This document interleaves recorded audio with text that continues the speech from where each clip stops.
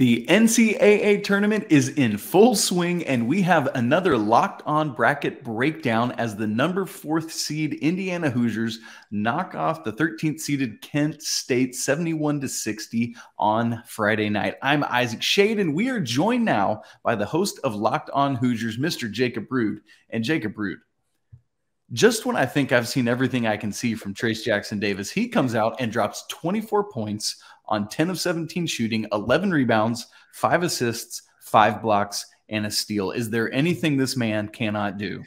He's unbelievable, man. Uh, it's the first time the stat line of 20 points, five assists, five blocks, just that part has been achieved in a tournament game. So, not even accounting the 11 rebounds, he really took this one over in the second half. IU had done a pretty good job and really, I think, controlled the game for a lot of it. But Trayce Jackson Davis just kind of left no doubt in that that's kind of where I'd fallen coming into this game that IU had one of the best players in the country and Kent State didn't and that's where a lot of my confidence came from but even then he he never ceases to amaze me as you kind of said it, he is unbelievable he wasn't ready for his season or his career to end on uh, Friday Saturday morning I guess by the time the final buzzer sounded and he uh, he made sure it wasn't going to in that second half we always wonder how freshmen are going to perform when they get into the NCAA tournament. And, and that's true even with superstars like Jalen Hood Schifino.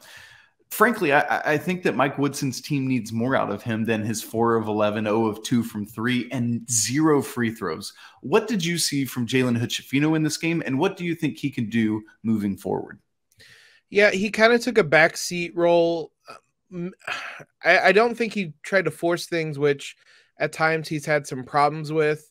Uh, there's been times where he's had some really gaudy, bad shooting nights. And so I, I think he was kind of content letting Trayce, letting other guys uh, really have their way on the night. And he was kind of locked in defensively. But you're right. He, if IU's going to make a deep run, they're going to need him to be better than 4 of 11 shooting.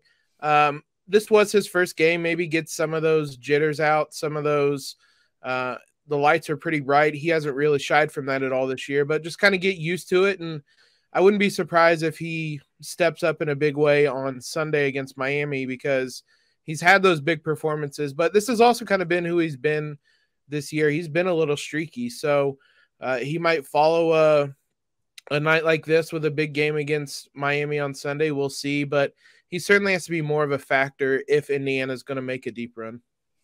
But thankfully, on this night, he didn't have to be much of a factor because it was the Trayce and Race show. As Race Thompson, for me, frankly, aside from Trayce Jackson Davis, is the story of the game 20 points, nine rebounds, and these shooting numbers are astounding to me. A very extremely efficient eight of 11 from the field and two of three from deep. When Race Thompson's doing what he's doing, Trayce Jackson Davis doing what he's doing. And if you can add in a better line for Jalen Hood Schifino, can this three hooded monster take Indiana farther than maybe anyone thought? Yeah, if Race is going to play like this, then man, that's always kind of been the question with this team is you typically are going to get a pretty strong baseline performance from Trayce and Jalen. It's who else is going to be there for them. This was a career night for Race Thompson. He said he had a quote earlier in the week that he was going to leave it all on the floor, leave it all on the line because he wasn't ready for his career to be over. A lot of guys kind of say that, but I think Race really did that on Friday because he was flying out of the gate. He had 10 points in the opening about six minutes, uh, knocked down a three, had a bunch of finishes at the rim. So it, IU's going to have a size advantage. They did against Kent State. Uh, they'll have it against Miami. They're going to need Race Thompson to continue playing like this. But if IU just gets somebody else that can kind of consistently be that third guy, and like you said, get Jalen Hood Schifino to perform, that's been the formula for them to to come away with some big wins. So uh, hopefully this is kind of the start of a, a big tournament run for Race because he was earnestly that's the best game of his career, and what a night to have it. What a night indeed. Now, Jacob, it was not just about the offense for Indiana on Friday night. They hold Kent State to 31.9% shooting from the field. How did the defense of the Hoosiers hold Kent State to such a low number? Yeah, when IU's been at their best this year, it's been because their defense has just been locking guys up. It's not a defense that necessarily creates a lot of turnovers. Kent State only had nine. It's just one that's really disciplined, stays at home, and forces teams into bad shots or tough shots.